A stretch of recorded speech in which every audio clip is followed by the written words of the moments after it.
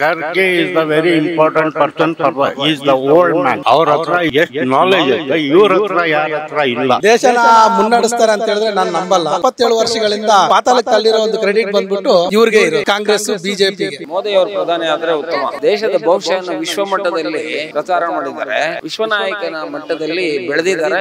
ಈಗಿರೋ ಪ್ರಧಾನಮಂತ್ರಿಗಳು ಬಂದ್ಬಿಟ್ಟು ಬಡವ್ರ ಪರ ಇಲ್ಲ. ಸ್ವತಂತ್ರ ಬಂದಾಗ್ಲಿಂದ ಈವರೆಗೂ ಯಾರಾದ್ರೂ ಹೆಚ್ಚಾಗಿ ಸುಳ್ಳುಗಳನ್ನ ಹೇಳಿರುವಂತ ಒಬ್ಬ ಪ್ರಧಾನಮಂತ್ರಿ ಇದಾರೆ ಅಂತ ಹೇಳಿದ್ರೆ ಅದು ನರೇಂದ್ರ ಮೋದಿ ಅವರು D K is a very nice person you know how to do and what to do is the most important person to win this Karnataka Hanumantha ಇದ್ನೋ ಇಲ್ವೋ ಯಾರು ನೋಡಿಲ್ಲ. ಪುರಾಣಗಳನ್ನ ಇಟ್ಕೊಂಡು ಇವರು ವಾಸ್ತವತೆ ಜೀವನನ ಹಾಳು ಮಾಡ್ಕೊಂತ ಇದ್ರೆ ಕೆಲವರೆಲ್ಲ ಯುವಕರು. ಪೊಲಿಟಿಕಲ್ ಆಗಿ ಇವರು ದೇವರುಗಳ ಹೆಸರುಗಳನ್ನ ಇಟ್ಕೊಂಡು ಧರ್ಮಗಳ ಹೆಸರುಗಳನ್ನ ಇಟ್ಕೊಂಡು ಯುವಕರ ಜೀವನಗಳನ್ನ ಹಾಳು ಮಾಡ್ತಾ ಇದ್ದಾರೆ very costly items for the food and everything ಏನ್ ನಾವು ಪರ್ಚೇಸ್ ಮಾಡಕ್ ಹೋದ್ರೆ ಅದು ಎ ಟಿ ಎಂ ಕಾರ್ಡ್ ಕೊಡಿ ಅದ್ ಕೊಡಿ ಇದ್ ಕೊಡಿ ಅಂತಾರೆ. They must take cash and carry and cash ನಮಸ್ತೆ ಸರ್. ನಮಸ್ತೆ ಮೇಡಮ್ ಮುಂದಿನ ಪ್ರಧಾನಿ ಯಾರು ಆಗ್ಬೇಕು? ರಾಹುಲ್ ಗಾಂಧಿ ಅವರ ಮೋದಿ ಅವರ ಖರ್ಗೆ ಅವರ? Mostly Kharge madam Kharge? Is the very important person for the is the old man ಅರ್ಥ ಆಯ್ತಾ? ಅವ್ರ ಹತ್ರ ಇಷ್ಟು ಎಷ್ಟು ನಾಲೆಜ್ ಐತೆ ಇವ್ರ ಹತ್ರ ಯಾರ ಹತ್ರ ಇಲ್ಲ. ಅವರು ಬೇಕಂದ್ಬಿಟ್ಟು ಮೂವ್ ಮಾಡ್ತಾ ಇದ್ದಾರೆ. ಇವರು ಸ್ಟಾಪ್ ಮಾಡೋಕ್ಕೆ ನೋಡ್ತಾ ಇದ್ದಾರೆ. ಈಗ ಆ ಸರ್ಕಾರದಲ್ಲಿಂದು ಈ ಸರ್ಕಾರ ಆಗಿ ಇವ್ರ ಮೇಲೆ ಪ್ರೆಷರ್ ಹಾಕ್ತಿದ್ದಾರೆ ಯಾರ ಮೇಲೆ? ನಮ್ಮ ಡಿ ಕೆ ಅವ್ರ ಮೇಲೆ. D K is a very nice person you know how to do and what to do is the most important person to win this Karnataka mostly in every place also is working very hard next point sir ಇನ್ನೊಂದು ವಿಚಾರ ಹೇಳಬೇಕು ಅಂತಂದ್ರೆ ನೀವು ಹೇಳ್ತಿದ್ದೀರಾ, ಖರ್ಗೆ ಅವರು ಪ್ರಧಾನಿ ಆದರೆ ಉತ್ತಮ ಅಂತ ಹೇಳ್ತಿದ್ದೀರಾ. ಈಗ ಎರಡು ವರ್ಷ, ಎರಡು ಸಲ ಏನಾಗ್ತಿದೆ ಅಂತಂದ್ರೆ ಮೋದಿ ಅವರು ಬಂದಿದ್ದಾರೆ. ಅವ್ರು ಯಾಕೆ ಮುಂದೆ ಪ್ರಧಾನಿ ಆಗಬಾರ್ದು? ಅವರು ಯಾವ ಮಾತಲ್ಲಿ ಏನಿಲ್ಲ ಅವ್ರ ಹತ್ರ ಇದೆ. ಈಗ ಸದ್ಯಕ್ಕೆ ಕಂಪ್ಲೀಟ್ಲಿ ಈಗ ಓಲ್ಡ್ ಮ್ಯಾನ್ ಅವ್ರು ಮಾಡಬೇಕಂದ್ರೆ ಮಾಡ್ತಾರೆ, ಇಲ್ಲ ಅಂತಲ್ಲ. ಅವರು ಮಾಡೋಕ್ಕೆ ಅಷ್ಟು ಅಧಿಕಾರಿನೂ ಇಲ್ಲ. Public completely is going to turn out hundred percent public ಐತಲ್ಲ, ಈಗ ಕಾಂಗ್ರೆಸ್ಗೆ ಲೈಕ್ ಮಾಡ್ತಿದ್ದಾರೆ ಐ ಆಮ್ ಒನ್ ನೂಟ್ರಿ ಪರ್ಸೆಂಟ್ ನಾನು S D M C president for the schools ten years I done because I saw the knowledge about the Congress They had helped everything for the schools. That is a very good person and uh, mostly must become the Congress. Congress is important. Okay sir ಇನ್ನೊಂದು ವಿಚಾರ ಹೇಳಬೇಕು ಅಂತಂದ್ರೆ, ಈಗ ಏನು ಖರ್ಗೆ ಅವರು ಪ್ರಧಾನಿ ಆಗ್ಬೇಕು ಅಂತ ನೀವು ಹೇಳ್ತಿದ್ದೀರಲ್ಲ, ಖರ್ಗೆ ಅವರ ವಿರುದ್ಧವಾಗಿ ಹಲವಾರು ವಿರೋಧ ಪಕ್ಷದ ನಾಯಕರು ಹೇಳ್ತಾ ಇದ್ದಾರೆ. ಅವರು ಮುಖ್ಯಮಂತ್ರಿನೂ ಆಗಿಲ್ಲ, ಈಗ ಪ್ರಧಾನಮಂತ್ರಿ ಆಗಿ ಏನು ಲಾಭ ಅಂತ ಕೇಳ್ತಿದ್ದಾರೆ. ನಿಜಕ್ಕೂ ಏನ್ ಅನ್ಸುತ್ತೆ ನಿಮ್ಗೆ? ಲಾಭ ಅಂದರೆ ಎಲ್ಲ ಹಳ್ಳಿಗೆ, ಎಲ್ಲ ಸ್ಟೇಟ್ಸ್ಗೆ ಅವ್ರು ಬಂದರೆ ಕಂಪ್ಲೀಟ್ಲಿ ಹೆಲ್ಪ್ ಮಾಡ್ತಾರೆ. Is the one important things second point ಅವ್ರ ಹತ್ರ ಹೋಗ್ಬಿಟ್ಟು ನಾವು ಮನೆ ಹತ್ರ ಕೇಳಿದ್ರೇನ ಅವ್ರ ಹಳ್ಳಿಯಲ್ಲಿ, ಅವರು ಎಕ್ಸೆಪ್ಟ್ ನಮಗೆ ಮಾಡ್ತಾರೆ. Because we are the voters ಅವರು ಮೊನ್ನೆನ ನಾನು ಮಾತಾಡ್ಕೊಂಡು ಬಂದ, ಯಾವ ಪಾರ್ಟಿನ ಅದೇ ಪಾರ್ಟಿ ಬರೋದು. ಇವರು ಬೇರೆ ಅಲ್ಲ ಅವರು ಬೇರೆ ಅಲ್ಲ ಅರ್ಥ ಆಯ್ತಾ? Simply one only one example they are giving it showing how to do what to do they are taking the knowledge from Karge also. ಇನ್ನೊಂದು ವಿಚಾರ ಹೇಳಬೇಕು ಅಂತಂದ್ರೆ ನೀವು ಯಂಗ್ ಏಜ್ ಅಲ್ಲಿ ಇರಬೇಕಾದ್ರೆ ಟ್ವೆಂಟಿ ಫೋರ್ ಟ್ವೆಂಟಿ ಫೈವ್ ಅಲ್ಲಿ ನೀವು ಇರಬೇಕಾದ್ರೆ ಆಗಿನ ಸರ್ಕಾರ ಪ್ರಧಾನ ಮಂತ್ರಿ ಯಾರಾಗಿದ್ರು ಹಾಗೆ ಅವರ ಒಂದು ಒಳ್ಳೆ ಗುಣ ಏನು? ಈಗ ಏನ್ ನಡೀತಾ ಇದೆ ಈ ಟೂ ತೌಸಂಡ್ ಟ್ವೆಂಟಿ ಫೋರ್ ಅಲ್ಲಿ ಅದಕ್ಕೂ ಇದಕ್ಕೂ ಏನು ವ್ಯತ್ಯಾಸ? ವಿಷಯ ಏನಂದರೆ very costly items for the foods and everything ಅರ್ಥ ಆಯ್ತಾ? ನೆಕ್ಸ್ಟ್ ಏನು ನಾವು ಪರ್ಚೇಸ್ ಮಾಡೋಕ್ಕೆ ಹೋದರೆ ಅದು ಎ ಟಿ ಎಂ ಕಾರ್ಡ್ ಕೊಡಿ, ಅದು ಕೊಡಿ, ಇದು ಕೊಡಿ ಅಂತಾರೆ. They must a cash and carry and cash ಅದೇ ಒಳ್ಳೇದಿದ್ದಿದ್ದು ಈಗ ಎ ಟಿ ಎಮ್ಮು ನಮ್ಮ ಗೂಗಲ್ ಪೇ ಎಲ್ಲ ಬಂದಿದಲ್ಲ, ಅದು ಇವತ್ತು ನಡೆಯಲ್ಲ ಅದು. ಹಂಡ್ರೆಡ್ ಪರ್ಸೆಂಟ್ ನಾನು ಹೇಳ್ತೀನಿ ಅದು. ಯಾವ ಥರ ಬ್ಯಾಂಕ್ ಎಲ್ಲ ಹೋಗಿದೆ ಬ್ಯಾಂಕಲ್ಲಿಂದು ದುಡ್ಡು, ಅದೇ ಟೈಪ್ ಇವ್ರನ್ನ ಮಾಡ್ತಾರೆ. ಒಂದೇ ಟೈಮ್ ಟೋಟಲ್ ಲಾಸ್ ಮಾಡ್ತಾರೆ. ಇನ್ನೊಂದು ವಿಚಾರ ಹೇಳಬೇಕು ಅಂತಂದ್ರೆ, ಈಗ ರಾಹುಲ್ ಗಾಂಧಿ ಅವರು ಏನು ಕಾಂಗ್ರೆಸ್ನಲ್ಲಿ ಇದ್ದಾರಲ್ವಾ? ಹಾಗೆ ಮಲ್ಲಿಕಾರ್ಜುನ್ ಖರ್ಗೆ ಅವರು ಕಾಂಗ್ರೆಸ್ನಲ್ಲೇ ಇದ್ದಾರೆ. ಹೌದಾ? ಈ ವಿಚಾರಕ್ಕೆ ಸಂಬಂಧಪಟ್ಟಂತೆ ಮನಮೋಹನ್ ಸಿಂಗ್ ಅವರು ಆಗ ಯಾವಾಗ ಪ್ರಧಾನ ಮಂತ್ರಿ ಆಗಿದ್ರಲ್ಲ ಅವ್ರ ತರಾನೇ ಇವರು ಕೂಡ ಗೌಣವಾಗಿರ್ತಾರೆ. ಯಾರು? ಮಲ್ಲಿಕಾರ್ಜುನ್ ಖರ್ಗೆ ಅವರು ಪ್ರಧಾನ ಮಂತ್ರಿ ಆದ್ರೆ ಗೌಣವಾಗಿರ್ತಾರೆ ಅನ್ನುವಂಥದ್ದು ವಿರೋಧ ಪಕ್ಷದ ನಾಯಕರ ಮಾತಾಗಿದೆ. ನಿಜಕ್ಕೂ ಹೌದು ಅಂತ ಅನ್ಸುತ್ತ ನಿಮ್ಮ ನಿಮ್ಗೆ? Madam, that uh, I am not interested in these things because I had done 10 years for this SDMC president rules without money and I had spent my own money. ಯಾಕಂದರೆ ಇದರಲ್ಲಿ ನಮ್ಮ ಬಚ್ಚೇಗೌಡವರು ಇದ್ದಾರೆ, ನಮ್ಮ ಶರದ್ ಪವಾರ್ ಇದ್ದಾರೆ, ಇಲ್ಲಿ ನಮ್ಮ ರಿಜ್ವಾನ್ ಅರ್ಷದ್ ಇದ್ದಾನೆ ಜಮೀರ್ ಅಹಮದ್ ಇದ್ದಾನೆ, ಮತ್ತು ನಾಲ್ಕೈದು ಆರು ಮಿನಿಸ್ಟರ್ಸ್ ಇದ್ದಾರೆ. I will not go to then okay sir ಈಗ ಕರ್ನಾಟಕದಲ್ಲಿ ಮುಖ್ಯಮಂತ್ರಿಯಾಗಿ ಸಿದ್ದರಾಮಯ್ಯ ಅವರು ಅಧಿಕಾರವನ್ನ ಸ್ವೀಕರಿಸಿದ್ದಾರೆ. ಅವರು ಕೊಟ್ಟಿರುವಂತಹ ಅಷ್ಟು ಸೌಲಭ್ಯಗಳಾಗಿರ್ಬೋದು, ಗ್ಯಾರಂಟಿಗಳಾಗಿರ್ಬೋದು, ನಿಮ್ಗೆ ಖುಷಿ ತಂದಿದ್ಯಾ? ಸೆಂಟ್ರಲ್ ಅಲ್ಲಿಂದ ಏನು ಮಾಡಿದ್ದಾರೆ ಅಂದರೆ ಒಂದು ಕೊನೆಯಲ್ಲಿ ಕುಂತ್ಬಿಟ್ಟಿದ್ದಾರೆ ಇವ್ರಿಗೆ. ಅರ್ಥ ಆಯ್ತಾ? Central is a important Congress ಇಲ್ಲಿ ಇರೋದು, ಅವ್ರಿಗೆ ಒಂದು ಕೊನೆಯಲ್ಲಿ ಸೆಂಟ್ರಲ್ ಯಾವಾಗ ಕಾಂಗ್ರೆಸ್ ಬರುತ್ತೆ, ಆವಾಗ ನೋಡಿ ಏನಾಗುತ್ತೆ, ಏನಿಲ್ಲ, ಏನು ಮಾಡ್ತಾರೆ, ಏನು ಮಾಡಲ್ಲ. ಪಬ್ಲಿಕ್ಗೆ ಸಹಾಯ ಮಾಡಬೇಕು. ಈಗ ಸಡನ್ಲಿ ಇವ್ರು ಮಾಡಿದ್ದಾರೆ. ಯಾವ ರೀತಿಯಲ್ಲಿ ತಮಿಳ್ನಾಡಲ್ಲಿಂದು ಸ್ಟಾರ್ಟ್ ಮಾಡಿದ್ರು ಅದೇ ತಲೆನಲ್ಲಿ ಇಟ್ಕೊಂಡಿದ್ದಾರೆ. ಯಾರು ನಮ್ಮ ಕಾಂಗ್ರೆಸ್ ಪಕ್ಷ. ಬಿ ಜೆ ಪಿ ಪಕ್ಷನ ಐದು ವರ್ಷ ಮಾಡಿ ಆಯಿತು ಕಾಂಗ್ರೆಸ್ ಪಕ್ಷನ ಐದು ವರ್ಷ ಮಾಡಿ ಆಯಿತು ಎಲ್ಲ ನೋಡಿ ಆಗೈತು. ಈಗ ಆರಾಮಾಗಿ ಕೂತ್ಕೊಂಡು ನಮ್ಮ ರಿಟೈರ್ ಪಿಂಚಣಿ ಪಿಂಚಣಿ ಏನು ಬರುತ್ತೆ ತಿನ್ಕೊಂಡು ಕೂತ್ಕೊಂಡಿದ್ದೀನಿ. ನಮ್ಮ ನಮ್ಮ ತಾಯಿಯವ್ರ ತಮ್ಮ ಇದ್ದಾನಲ್ಲ F M Khan. Is own my uncle ನಾವೆಲ್ಲ educated. Even my father director of I N D commerce I was working to the president role one of in ಲೋಕೇಕ್ತಾ one is doctor ಈಗ ಮೋದಿ ಅವರು ಎರಡನೇ ಸಾರಿ ಗೆದ್ರು. ಈಗ ಅಧಿಕಾರವನ್ನ ಸ್ವೀಕಾರ ಮಾಡಿದ್ರು. ಈಗ ಎರಡ್ ಸಾವಿರದ ಇಪ್ಪತ್ನಾಲ್ಕಕ್ಕೆ ಅವ್ರು ಗೆದ್ದರೆ ಮೂರನೇ ವರ್ಷದಾಗಿರುತ್ತೆ ಅಂದ್ರೆ ಮೂರನೇ ಸಲ ಆರ್ಸ್ ಬಂದಿದ್ದಾಗಿರುತ್ತೆ ಸೊ ಇದಕ್ಕಿಂತ ಹಿಂದೆ ಕಾಂಗ್ರೆಸ್ ಅವರೇ ಇದ್ರು. ಅವರ ಯಾವೊಂದು ಯೋಜನೆಗಳು ನಿಮ್ಗೆ ಇಷ್ಟ ಆಯ್ತು? ಮೇಡಮ್ ಏನ್ ಮಾಡಿದಾರಂದ್ರೆ, ಇವರು ಸೆಂಟ್ರಲಲ್ಲಿ ಇನ್ ಚಾರ್ಜಸ್ ಇವ್ರು ಪರ್ಚೇಸ್ ಮಾಡೋಕ್ಕೆ ಏನು? ಈಗ ಮನುಷ್ಯನಿಗೆ ಒಂದು ಹತ್ತು ಕೋಟಿ ಕೊಟ್ಟರೆ ಬಂದ್ಬಿಡ್ತಾನೆ, ಬಾರಪ್ಪ ಇಲ್ಲ ಅಂದ್ರೆ. ಅದು ಸಪ್ರೇಟ್ ಸೀಕ್ರೆಟ್ ಪಾಲಿಟಿಕ್ಸ್ ಅದು ತಿಳ್ಕೊಳ್ಬೇಕು ನಾವು ತಿಳ್ಕೊಳ್ಬೇಕು ನಮ್ಮ ಬುತ್ತಿನಲ್ಲಿ ಇರಬೇಕದು. ಅರ್ಥ ಆಯ್ತಾ? ಅದಿಲ್ಲ ಅಂದರೆ ಏನಿಲ್ಲ. ಸರಿ ಸರ್ ಈಗ ಯಾರೇ ಪ್ರಧಾನಿ ಆದ್ರೂ ಒಂದು ಎಕ್ಸ್ಪೆಕ್ಟೇಷನ್ ಅಂತ ಇರುತ್ತೆ. ಶಿಕ್ಷಣಕ್ಕೆ ಈ ತರ ಮಾಡಬೇಕು ಅಥವಾ ಮಿಡ್ಲ್ ಕ್ಲಾಸ್ ಪೀಪಲ್ಗೆ ಈ ತರ ಮಾಡಬೇಕು ಅಂತ ಏನಿದೆ ನಿಮ್ಗೆ expectation is middle class people to want to be ಒಂದು ಗ್ರೇಟಲ್ಲಿ ಬರಬೇಕು. ಯಾಕಂದರೆ ಮಿಡಿಲ್ ಕ್ಲಾಸ್ ಅವನು ಏನು ಹೇಳಲ್ಲ? ಬಡವರೆಲ್ಲ ತಗೊಂಡು ತಿನ್ಕೊಂಡು ಹಂಗೆ ಮಲ್ಕೊಂಡು ಬಿಡ್ತಾನೆ ಮಿಡಲ್ ಕ್ಲಾಸ್ ಅನ್ನು ಹೇಳಂಗಿಲ್ಲ, ಕೇಳಂಗಿಲ್ಲ. ಅವ್ರಿಗೆ ಯಾರು ಸಹಾಯ ಮಾಡಬೇಕು? ಎಲ್ಲರಿಗೆ ಬಡವರು ಇರೋದು ಮಿಡಲ್ ಕ್ಲಾಸ್ ಅವನ. ಆ ಮಿಡಲ್ ಕ್ಲಾಸ್ಗೆ ಕೊಡಬೇಕು. ಆ ಮಿಡಲ್ ಕ್ಲಾಸ್ಗೆ ಇಲ್ಲಾಂದ್ರೆ ಆಗೈತು ಅವ್ರು. ಸರಿ ಸರ್. ಇನ್ನೊಂದು ಲಾಸ್ಟ್ ಪ್ರಶ್ನೆ.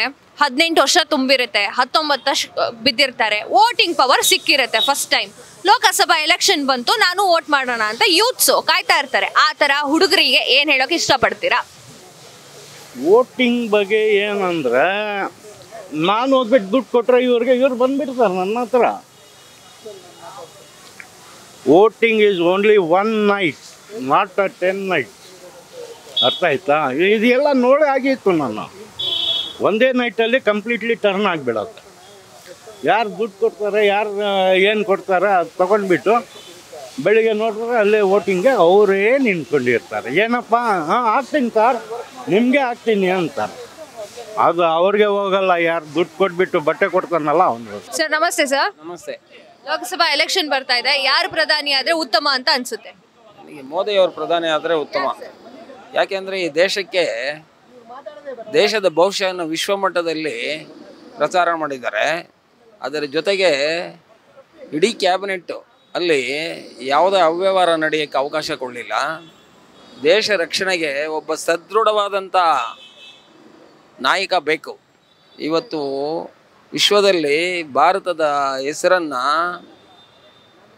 ಗೌರವವನ್ನು ಹೆಚ್ಚಿಸಿದರ ಜೊತೆಗೆ ದೇಶಕ್ಕೆ ದೇಶದ ಸಾರ್ವಭೌಮತೆಯನ್ನು ಕಾಪಾಡೋದಕ್ಕೆ, ಕಾಪಾಡೋದರಲ್ಲಿ ಮೋದಿಯವರು ತುಂಬ ವಿಶ್ವನಾಯಕನ ಮಟ್ಟದಲ್ಲಿ ಬೆಳೆದಿದ್ದಾರೆ. ಆ ಪ್ರತಿಯೊಬ್ಬ ನಾಗರಿಕನು ಕೂಡ ಮೋದಿ ನಾಯಕತ್ವವನ್ನು ಒಪ್ಕೊಳ್ಬೇಕು. ಯಾಕೆಂದರೆ ಅವರು ಇವತ್ತು ಈ ದೇಶನ ರಕ್- ರಕ್ಷಣೆ ಮಾಡೋದರಲ್ಲಿ ಈ ದೇಶಕ್ಕೆ ಸದೃಢವಾದಂಥ ನಾಯಕತ್ವವನ್ನು ಕೊಡೋದರಲ್ಲಿ ಖಂಡಿತವಾಗಲೂ ಕೂಡ ಒಪ್ಪುವಂಥ ವಿಷಯ. ರಾಹುಲ್ ಗಾಂಧಿ ಅವರಾಗಿರ್ಬೋದು ಖರ್ಗೆ ಅವರಾಗಿರ್ಬೋದು ಯಾಕೆ ಆಗಬಾರ್ದು? ಮೇಡಮ್ ಇವತ್ತು ಸಮಾಜ ದೇಶದಲ್ಲಿ ಪ್ರಜಾಪ್ರಭುತ್ವದಲ್ಲಿ ಪ್ರಜೆಗಳ ತೀರ್ಮಾನವೇ. ಬಹುಮುಖ್ಯ. ಚುನಾವಣೆ ನಡೆಯುತ್ತೆ. ಚುನಾವಣೆಯಲ್ಲಿ ನಮ್ಮ ಪ್ರಜಾಪ್ರಭುತ್ವ ವ್ಯವಸ್ಥೆಯಲ್ಲಿ ಯಾರನ್ನ ಜನ ಆಯ್ಕೆ ಮಾಡ್ತಾರೋ ಅವರೇ ಪ್ರಧಾನಿ ಆಗೋದು. ಅವರೇ ಸರ್ಕಾರನ ರಚನೆ ಮಾಡೋದು. ಈ ವ್ಯವಸ್ಥೆ ಸಂವಿಧಾನದಲ್ಲಿ ಸಾವಿರದ ಒಂಬೈನೂರ ಐವತ್ತರಿಂದ ನಾವು ಅಳವಡಿಸ್ಕೊಂಡು ಬಂದಿದ್ದೀವಿ. ಅದನ್ನು ಯಾರೂ ಕೂಡ ಅಲ್ಲಗಳೆಯೋಕ್ಕಾಗಲ್ಲ ಸಂವಿಧಾನನ ಒಪ್ಕೊಂಡಿದ್ದೀವಿ. ಸಂವಿಧಾನ ಧರ್ಮಗ್ರಂಥ ಆಗಿದೆ. ಸಂವಿಧಾನದ ಬಗ್ಗೆ ಸಂವಿಧಾನದ ಅಕ್ಕೆ ಅರ್ಹತೆಯನ್ನು ಕೊಡಬೇಕು. ಸ ಗೌರವವನ್ನು ಕೊಡಬೇಕು. ಪ್ರಾಮುಖ್ಯತೆಯನ್ನು ಕೊಡಬೇಕು. ಸಂವಿಧಾನಬದ್ಧವಾಗಿ ಜೀವನ ನಡೆಸಬೇಕು. ಇದು ಈ ದೇಶದ ವ್ಯವಸ್ಥೆಯನ್ನು ನಾವು ಒಪ್ಕೊಂಡಿದ್ದೀವಿ. ಅದನ್ನು ನಾವು ಕಾಪಾಡಿಕೊಂಡು ಬರಬೇಕು. ಅದರಲ್ಲಿ ಯಾರು ನಾಯಕತ್ವ, ಯಾರಿಗೆ ನಾಯಕತ್ವದ ಫಲಿತಾಂಶ ಸಿಗುತ್ತೋ ಅವು, ಅವರು ಈ ದೇಶನ ಸರ್ಕಾರನ ರಚನೆ ಮಾಡ್ಬೋದು. ಇನ್ನೊಂದು ವಿಚಾರ ಹೇಳಬೇಕು ಅಂತಂದ್ರೆ ಪ್ರಧಾನಿ ನರೇಂದ್ರ ಮೋದಿ ಅವರ ಬಗ್ಗೆ ವಿಪಕ್ಷ ನಾಯಕರುಗಳಾಗಿರ್ಬೋದು ಹಲವಾರು ಜನ ಒಂದು ಮಾತಾಡ್ತಾ ಇದ್ದಾರೆ. ಏನು ಅಂತಂದ್ರೆ ಈಗ ರಾಮ ಮಂದಿರ ಉದ್ಘಾಟನೆ ಆಗಿದೆ ಇದು ಏನು ಅಂತಂದ್ರೆ ಓಟು ಹೊಡೆಯುವಂತಹ ಓಟ್ ಹೊಡೆಯುವಂತಹ ಗಿಮಿಕ್ಸ್ ಅಂತ ಹೇಳ್ತಿದ್ದಾರೆ. ನಿಜಕ್ಕೂ ಹೌದು ಅಂತ ಅನ್ಸುತ್ತೆ. ಇದಂತೂ ಅಲ್ವೇ ಇಲ್ಲ. ನಾನೂರ ತೊಂಬತ್ತೇಳು ವರ್ಷದಿಂದ ನ್ಯಾಯಾಲಯದಲ್ಲಿ ನಡೆದಂಥ ನ್ಯಾಯ ತೀರ್ಪನ್ನು ಅವರು ಪ್ರಧಾನಮಂತ್ರಿ ಆಗಿದ್ದರೂ ಅದನ್ನು ಗೌರವಿತವಾಗಿ ನಡೆಸ್ಕೊಂಡು ಬಂದಿದ್ದಾರೆ.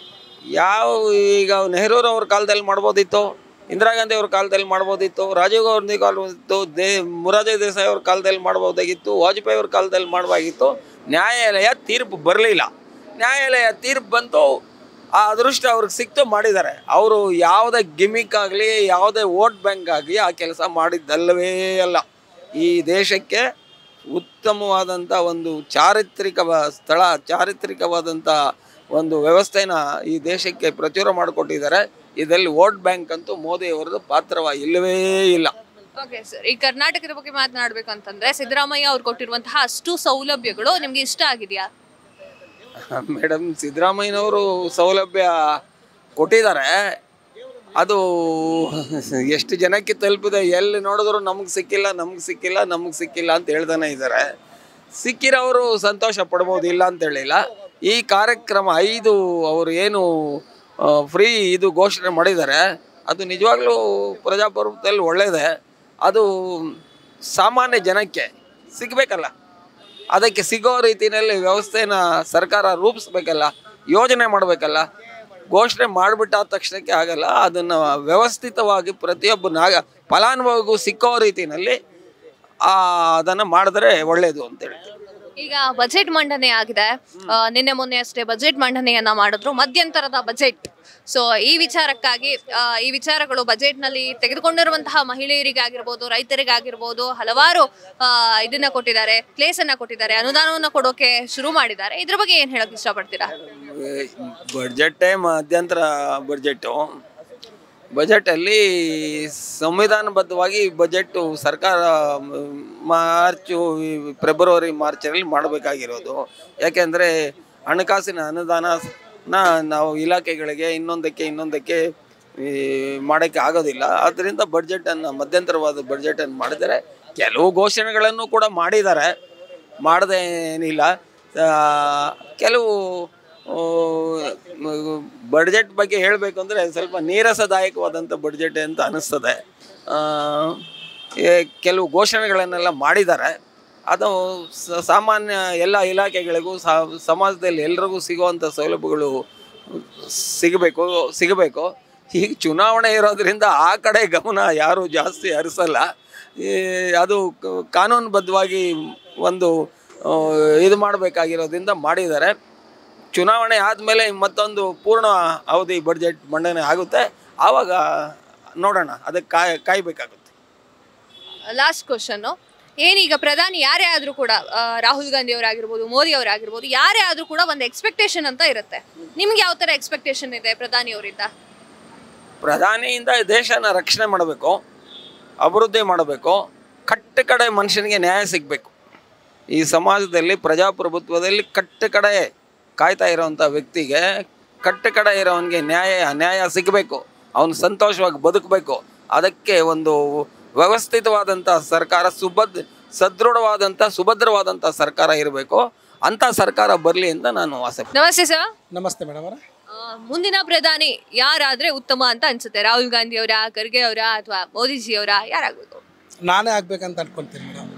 ಯಾಕಂದರೆ ಇವರೆಲ್ಲ ದೇಶನ ಮುನ್ನಡೆಸ್ತಾರೆ ಅಂತ ಹೇಳಿದ್ರೆ ನಾನು ನಂಬಲ್ಲ. ಯಾಕಂತ ಹೇಳಿದ್ರೆ ಈಗ ದೇಶ ಬಂದ್ಬಿಟ್ಟು ಸಂವಿಧಾನಾತ್ಮಕವಾಗಿ ಮುಂಚೂಣಿಯಲ್ಲಿ ಎಲ್ಲ ದೇಶಗಳಿಗಿಂತ ಪ್ರಜಾಪ್ರಭುತ್ವ ದೇಶ ನಮ್ಮದು ಇನ್ನೂ ತುಂಬ ಮುಂಚೂಣಿಯಲ್ಲಿ ಇರಬೇಕಾಗಿತ್ತು. ಅದನ್ನು ಪಾತಾಳಕ್ಕೆ ಎಪ್ಪತ್ತೇಳು ವರ್ಷಗಳಿಂದ ಪಾತಾಳಕ್ಕೆ ತಳ್ಳಿರೋ ಒಂದು ಕ್ರೆಡಿಟ್ ಬಂದ್ಬಿಟ್ಟು ಇವ್ರಿಗೆ ಇರೋದು. ಕಾಂಗ್ರೆಸ್ಸು ಬಿ ಜೆ ಪಿಗೆ ಯಾಕಂತ ಹೇಳಿದ್ರೆ ಸಂವಿಧಾನನ ಯಥಾವತ್ತಾಗಿ ಜಾರಿ ಮಾಡೋದ್ರಲ್ಲಿ ಟೋಟಲಿ ಫೈಲರ್ ಆಗಿದೆ ಈ ಪಕ್ಷಗಳು.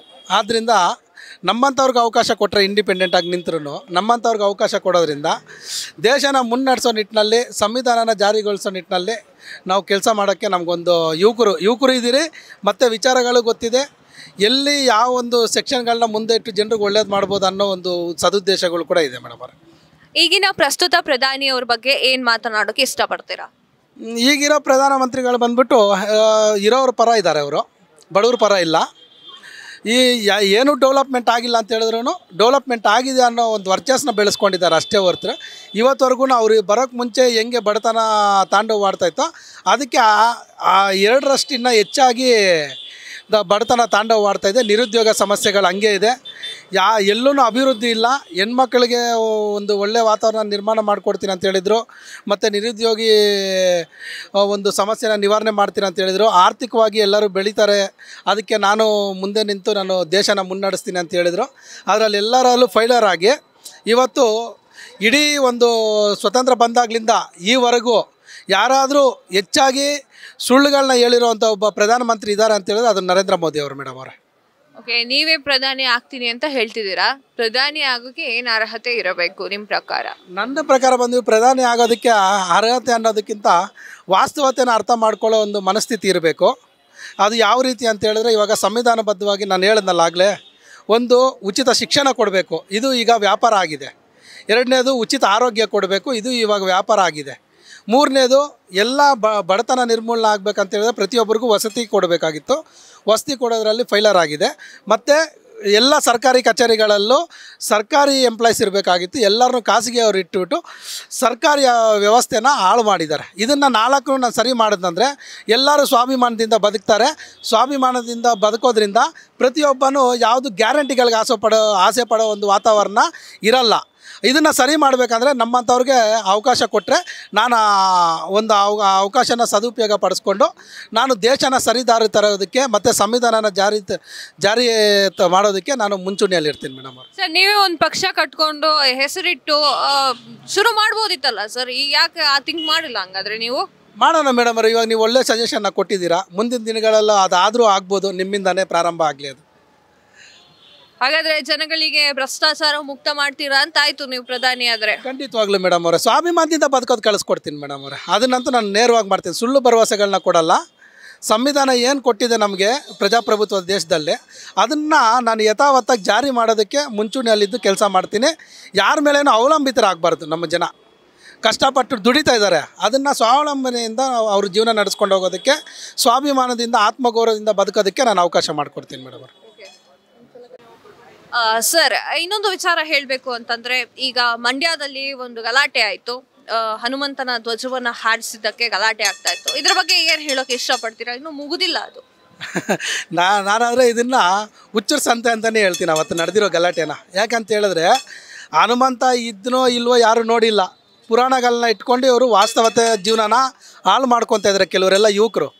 ಯಾಕಂತ ಹೇಳಿದ್ರೆ ಇವ್ರು ಯಾರೋ ಪೊಲಿಟಿಕಲ್ಗೋಸ್ಕರ ಅದನ್ನು ಮಿಸ್ಯೂಸ್ ಮಾಡ್ಕೊತಾ ಇದ್ದಾರೆ ಅಷ್ಟೇ ಯಾವುದು? ಇವಾಗಿರೋ ಎರಡು ಪ ಯಾವುದೇ ಪಕ್ಷಗಳಾಗಿರ್ಬೋದು. ಪೊಲಿಟಿಕಲ್ ಆಗಿ ಇವರು ದೇವ್ರಗಳ ಹೆಸರುಗಳನ್ನ ಇಟ್ಕೊಂಡು, ಧರ್ಮಗಳ ಹೆಸರುಗಳನ್ನ ಇಟ್ಕೊಂಡು, ಯುವಕರ ಜೀವನಗಳನ್ನ ಹಾಳು ಮಾಡ್ತಾ ಇದ್ದಾರೆ. ಇವತ್ತು ಯಾರು ಈ ಇಶ್ಯೂಗಳನ್ನ ಮಾತಾಡ್ತಾರೆ, ಅವ್ರ ಮಕ್ಕಳು ಮರಿಗಳೆಲ್ಲ ಫಾರಿನ್ಗಳಲ್ಲಿದ್ದಾರೆ ಒಳ್ಳೆ ಬಿಸ್ನೆಸ್ಗಳನ್ನ ಮಾಡ್ತಾ ಇದ್ದಾರೆ, ಒಳ್ಳೆ ವೆಲ್ ಸೆಟಲ್ಡ್ ಲೈಫ್ಗಳನ್ನ ಲೀಡ್ ಮಾಡ್ತಾ ಇದ್ದಾರೆ. ಆದರೆ ಇದ್ರ ಹೋರಾಟಗಳನ್ನ ಮಾಡ್ತಾ ಇದ್ದಾರೆ ಗೊತ್ತಾ? ಜಾತಿ, ಧರ್ಮಗಳ ಮೇಲೆ ಹೋರಾಟಗಳನ್ನ ನಡೆಸ್ತಾ ಇದ್ದಾರಲ್ಲ?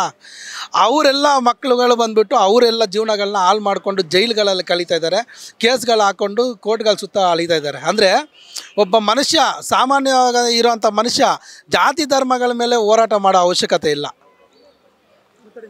ಹಾಗಾಗಿ ನಾನು ಇದ್ರ ಬಗ್ಗೆ ಕ್ಲಾರಿಟಿ ಕೊಡ್ತೀನಿ ಮೇಡಮ್ ಇನ್ನೊಂದು ವಿಚಾರ ಹೇಳಬೇಕು ಅಂತಂದ್ರೆ ಆ, ಥರನೇ ಒಂದು ಸ್ಟೂಡೆಂಟ್ ಮಾತನಾಡಿದ್ರು ನಮ್ಮ ಚಾನಲಲ್ಲಿ ಏನು ಅಂತಂದ್ರೆ ಇವಾಗ ಅವ್ರಿವ್ರು ಏನು ಮಾಡ್ತಾರೆ ಅನ್ನೋದು ಮುಖ್ಯ ಅಲ್ಲ. ನಾವು ಪ್ರಧಾನಿ ಆದರೆ ಏನು ಮಾಡಬೇಕು ಅನ್ನೋದು ಪ್ರಧಾನಿ ಅಂದ್ರೆ ಈ ದೇಶಕ್ಕೆ ನಾವು ಒಂದು ಯುವಕರಾಗಿ ಏನು ಮಾಡಬೇಕು ಅನ್ನೋದು ಮುಖ್ಯ ಆಗುತ್ತೆ ಅಂತ ಹೇಳಿದ ಒಬ್ಬ ಕಾಲೇಜ್ ಹುಡುಗ. ಈ ವಿಚಾರಕ್ಕೆ ಸಂಬಂಧಪಟ್ಟಂತೆ ನೀವು ತಾನು ಎಲೆಕ್ಷನ್ಗೆ ನಿಂತ್ಕೊಂತೀನಿ ಅಂತ ಹೇಳಿದ್ರಲ್ಲ ಆ, ವಿಚಾರಕ್ಕೆ ಸಂಬಂಧಪಟ್ಟಂತೆ ನೀವೇನಾದರೂ ಪ್ರಧಾನಿ ಆದರೆ ಏನು ಎಕ್ಸ್ಪೆಕ್ಟೇಷನ್ ನಾವು ಮಾಡಬಹುದು? ಅದೇ ಸ್ವಾಮ ಒಬ್ಬ ಹೇಳಿದ್ನಲ್ಲ ನಾನು ಉಚಿತ ಶಿಕ್ಷಣನ ಮೊದಲನೇದಾಗಿ ಕೊಡ್ತೀನಿ, ಎರಡನೇದು ಉಚಿತ ಆರೋಗ್ಯನ ಕೊಡ್ತೀನಿ, ಮೂರನೇದಾಗಿ ಉಚಿತ ಉಚಿತ ವಸತಿನ ಕೊಡ್ತೀನಿ, ಮತ್ತು ನಾಲ್ಕನೇದು ಬಂದ್ಬಿಟ್ಟು ಎಲ್ಲರಿಗೂ ಸರ್ಕಾರಿ ನೌಕರಿಗಳು ಸಿಗೋ ರೀತಿಯಲ್ಲಿ ನಾನು ಒಂದು ವ್ಯವಸ್ಥೆ ಮಾಡ್ತೀನಿ, ಇಲ್ಲಾಂದರೆ ಸ್ವಾವಲಂಬನೆಯಿಂದ ಬದುಕ್ತಾರೆ ಅಂದರೆ ವ್ಯಾಪಾರದ ವ್ಯವಸ್ಥೆಗೆ ಪೂರ್ತಿ ಅನುವನ್ನ ಮಾಡಿಕೊಡ್ತೀನಿ. ಈ ಒಬ್ಬ ಮನುಷ್ಯ ಸ್ವಾಭಿಮಾನದಿಂದ ಬದುಕಕ್ಕೆ ಇಷ್ಟೇ ತಾನೇ ಬೇಕಾಗಿರೋದು? ಸಂವಿಧಾನ ಕೂಡ ಇದನ್ನೇ ತಾನೇ ಹೇಳಿರೋದು? ಇದನ್ನೇ ನಾನು ಯಥಾವತ್ತಾಗಿ ಜಾರಿ ಮಾಡಬೇಕಂತ ಹೇಳ್ತಾರೆ ಪ್ರಜಾಪ್ರಭುತ್ವನ ಉಳಿಸೋ ಪ್ರಯತ್ನ ನಂದು. ಅಷ್ಟೇ. ಒಂದ್ ಎರಡು ನೂರು ಜನ ಕರ್ಕೊಳ್ಳಿ, ಒಂದೊಳ್ಳೆ ಪಕ್ಷ ಕಟ್ಟಿ, ಅದಕ್ಕೊಂದೊಳ್ಳೆ ಹೆಸರಿಡಿ. ಮುಂದೆ ನಿಮ್ಮೂ ಕೂಡ ಏನು ಲೋಕಸಭಾ ಚುನಾವಣೆ ನಡೀತಾ ಇದೆಯಲ್ಲ, two thousand twenty two thousand forty ಸೆವೆನ್ವರೆಗೂ ಒಂದು ನೂರು ವರ್ಷ ಆಗುತ್ತೆ ಸ್ವತಂತ್ರ ಬಂದು. ಆ ಒಂದು ನಿಟ್ಟಿನಲ್ಲಿ ನಿಮ್ಮ ಪಕ್ಷನೂ ಕೂಡ ಬರಲಿ ಅಂತ ಆಶಿಸ್ತಾ ಇದ್ದೀನಿ. ಸೊ ಈಗಿನ ಯುವಕರನ್ನ ಪೊಲಿಟಿಕ್ಸ್ ಅಂತಂದರೆ ಹಿಂಜರಿತಾ ಇದ್ದಾರೆ. ಆ ಯುವಕರಿಗೆ ಏನು ಹೇಳೋಕ್ಕೆ ಇಷ್ಟಪಡ್ತೀರಾ? ನೋಡಿ ಪಾಲಿಟಿಕ್ಸು ಒಂದು ರಾಜಕೀಯ ಅನ್ನೋದು ಬಂದ್ಬಿಟ್ಟು ಒಬ್ಬ ಉತ್ತಮವಾದ ಸಮಾಜನ ನಿರ್ಮಾಣ ಮಾಡಿ, ಮಾಡೋದಕ್ಕೆ ಇರುವಂಥ ಒಂದು ಅವಕಾಶ ರಾಜಕೀಯ. ಅದನ್ನು ಯಾರೋ ಇವಾಗ ಅದಕ್ಕೊಂದು ಎಕ್ಸಾಂಪಲ್ ಹೇಳ್ತೀನಿ ನಾನು. ಲಾಸ್ಟ್ ಟೈಮ್ ಒಂದು ವಿಚಾರ ಬಂತು, ಏನು ನನ್ನ ಗಮನಕ್ಕೆ? ನಾಯಿಗೆ ಮತ್ತು ಒಂದು ಕತ್ತೆಗೆ ಪೈಪೋಟಿ ಇಡ್ತಾರೆ. ಪೈಪೋಟಿ ಇಟ್ಟಾಗ ನಾಯಿ ಅಂದ್ಕೊಳ್ಳುತ್ತೆ ನಾನು ಹಂಡ್ರೆಡ್ ಪರ್ಸೆಂಟ್ ನಾನು ಗೆಲ್ತೀನಿ, ನಾನು ಓಡೋ ಸ್ಪೀಡು ನನಗೆ ಇದೆ, ನಾನು ಗೆಲ್ತೀನಿ, ಕತ್ತೆ ಆದರೆ ಓಡೋಕ್ಕಾಗಲ್ಲ ಅಂತ. ಆದರೆ ಆ ನಾಯಿಗೆ ಗೊತ್ತಿರಲ್ಲ, ನಾನು ಓಡ್ತಾ ಇದ್ದೀನಲ್ಲ, ನನಗೆ ನಂತರ ಇರೋಂಥ ನಾಯಿಗಳೇ ಅಡ್ಡ ಬರುತ್ತೆ ಪ್ರತಿ ಗಲ್ಲಿಯಲ್ಲೂ. ನನ್ನ ಮುಂದೆ ಹೋಗೋಕೆ ಬಿಡೋಲ್ಲ, ನನ್ನ ಕಾಲು ಎಳಿತದೆ ಅಂತ ಆ ನಾಯಿಗೆ ಗೊತ್ತಿಲ್ಲ. ಆದರೆ ಕತ್ತೆಗೆ ಯಾರೂ ಕಾಂಪಿಟೇಷನ್ ಇಲ್ಲ, ಆ ಕತ್ತೆ ಹೋಗಿ ರಾಜ್ಭಾರ ಆಡುತ್ತೆ. ಅಂದರೆ ಇಲ್ಲಿ ನಮ್ಮ ನಾಯಿಗಳ ಹತ್ರ ನಾಯಿಗಳ ಹತ್ರ ಕಿತ್ತಾಡ್ಕೊಂಡಿರೋಕ್ಕೆ ನಮ್ಗೆ ಸರಿ ಹೋಗುತ್ತೆ. ಕತ್ತೆ ಅಂತ ಕತ್ತೆಗಳ್ತಾ ಇರೋಂಥ ವ್ಯಕ್ತಿಗಳು ಹೋಗ್ಬಿಟ್ಟು ರಾಜ್ಯ ರಾಜ್ಯಾಡಳಿತ ನಡೆಸಿದಾಗ ದೇಶ ಎಲ್ಲೂ ಮುಂಚೂಣಿಗೆ ಬರೋಕ್ಕೆ ಅವಕಾಶ ಇರುತ್ತೆ. ಆದ್ದರಿಂದ ನಾನು ಎಲ್ಲರಿಗೂ ಹೇಳೋದು ಇಷ್ಟೇ ಒಳ್ಳೆ ಸದ್ಗುಣ ಇರೋವಂಥ ಒಂದು ಒಳ್ಳೆ ಉತ್ತಮ ಸಮಾಜನ ಬಯಸೋ, ಬಯಸೋವಂಥ ಯುವಕರಾಗಲಿ, ವ್ಯಕ್ತಿಗಳಾಗಲಿ ಮುಂಚೂಣಿಗೆ ಬನ್ನಿ ರಾಜಕೀಯದಲ್ಲಿ ಪಾಲ್ಗೊಳ್ಳಿ, ಮುಂದಿನ ಉತ್ತಮ ಸಮಾಜಕ್ಕೆ ನಾವೆಲ್ಲರೂ ಮುಂದಿನ ಪೀಳಿಗೆಗೆ ಒಂದು ಒಳ್ಳೆ ವಾತಾವರಣ ನಿರ್ಮಾಣ ಮಾಡೋದಕ್ಕೆ ಮುಂಚೂಣಿಯಲ್ಲಿರೋಣ ಅಂತ ಹೇಳ್ತಾ ನಾನು ಓಕೆ ಒನ್ ಸೆಕೆಂಡ್ ಸರ್ ಈಗ ಒಂದು ಲಾಸ್ಟ್ ಕ್ವಶನ್ ನೀವು ಪ್ರಧಾನಿ ಆಗ್ತೀರಾ ಅಂತಂದ್ರೆ ಈ ಲೋಕಸಭಾ ಎಲೆಕ್ಷನ್ ನಲ್ಲಂತೂ ಆಗಲ್ಲ. ಓಕೆನಾ ನೀವು ಇನ್ನು ಪಕ್ಷ ಕಟ್ಟಬೇಕು ಅದಕ್ಕೆ ಹೆಸರಿಡಬೇಕು ಜನಗಳನ್ನ ಸೇರಿಸ್ಬೇಕು. ಈಗ ಎರಡ್ ಸಾವಿರದ ಇಪ್ಪತ್ನಾಲ್ಕರ ಲೋಕಸಭಾ ಚುನಾವಣೆಯಲ್ಲಿ ಯಾರೇ ಪ್ರಧಾನಿ ಆದರೂ ಕೂಡ ಒಂದು ಎಕ್ಸ್ಪೆಕ್ಟೇಷನ್ ಅಂತ ಒಂದು ಇರುತ್ತೆ. ಶಿಕ್ಷಣಕ್ಕೆ ಇಷ್ಟು ಮಾಡಬೇಕು, ಅಥವಾ ಹಾಸ್ಪಿಟ್ಲಿಗೆ ಇಷ್ಟು ಮಾಡಬೇಕು ಅಂತ. ಆ ಥರ ಎಕ್ಸ್ಪೆಕ್ಟೇಷನ್ ಯಾವುದಿದೆ ನಿಮಗೆ? ಮುಂದೆ ಪ್ರಧಾನಿ ಆಗೋರು. ಟೂ ತೌಸಂಡ್ ಟ್ವೆಂಟಿ ಫೋರಲ್ಲಿ ಎಲೆಕ್ಷನ್ ನಡೆಯುತ್ತಲ್ಲ ಈ ಒಂದು ಎಲೆಕ್ಷನ್ ನಾಲ್ಕೈದು ತಿಂಗಳ ಬಂತು. ಸೊ ಅಲ್ಲಿ ಏನು ಎಕ್ಸ್ಪೆಕ್ಟೇಷನ್ ಇದೆ ಒಂದು ಪ್ರಧಾನಿ ಅವ್ರ ಬಗ್ಗೆ? ಪ್ರಧಾನಿಯವ್ರ ಬಗ್ಗೆ ನನಗೆ ಪೂರ್ತಿ ಎಕ್ಸ್ಪೆಕ್ಟೇಷನ್ ಅಂತೂ ಇಲ್ಲ. ಯಾಕಂದರೆ ಇವಾಗ ನೆಕ್ಸ್ಟ್ ಬರೋ ಪ್ರಧಾನಿ ಈಗ ಎಂಟು ಒಂಬತ್ತು ವರ್ಷ ಹತ್ತು ವರ್ಷದಿಂದ ಏನು ಜ ನಡ್ಸ್ಕೊಂಬಂದರು ಅದೇ ರೀತಿ ಇನ್ನು ಯಥಾವತ್ತಾಗಿ ಇನ್ನು ಸಮಾಜನ ಹಾಳು ಮಾಡ್ತಾರೆ ಹೊರತು ಉದ್ಧಾರ ಮಾಡಿಲ್ಲ. ಅವರಿಂದ ಏನು ಎಕ್ಸ್ಪೆಕ್ಟ್ ಮಾಡ್ತೀನಿ ಅಂತ ಹೇಳಿದ್ರೆ ಜಾತಿ ಧರ್ಮಗಳನ್ನ ಹೊಡಿಬೇಡಿ ಅವ್ರವ್ರನ್ನ ಅವ್ರವ್ರ ಪಾಡಿಗೆ ಜೀವನ ಮಾಡೋಕ್ಕೆ ಬಿಟ್ಬಿಡಿ. ನಿಮ್ಮ ಕೈಯಲ್ಲಾದರೆ ಒಳ್ಳೇದು ಮಾಡಿ ಇಲ್ಲ ಅಂದರೆ ತಟಸ್ಥವಾಗಿದ್ಬಿಡಿ ಜನರ ಮನಸ್ಥಿತಿಗಳನ್ನ ಹಾಳು ಮಾಡಿಬಿಟ್ಟು ಅದರಿಂದ ನಿಮ್ಮ ರಾಜಕೀಯ ಲಾಭ ಪಡ್ಕೊಳ್ಳೋದಕ್ಕೆ ಮಾತ್ರ ಯಾವತ್ತೂ ಮುಂದಾಗಬೇಡಿ. ಅಂಥ ಹೀನಾಯ ಪರಿಸ್ಥಿತಿಗೆ ಯಾವುದೇ ಪ್ರಧಾನಿ ಹೋಗಬಾರ್ದಾಗಿತ್ತು, ಇವ್ರು ಹೋಗಿದ್ದಾರೆ. ಅದನ್ನು ಸರಿ ಮಾಡ್ಕೊಳ್ಳೋಕ್ಕೆ ನಾನು ಹೇಳ್ತೀನಿ.